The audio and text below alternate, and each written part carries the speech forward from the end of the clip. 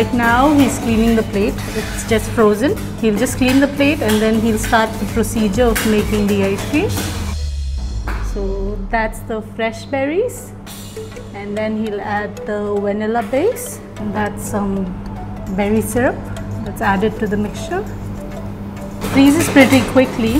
Right now he's just mixing everything up. It freezes the mixture and then he'll start manipulating the base and the fruit and then he's going to spread it out and roll it. That's a little bit more of berry syrup and now we're ready to roll.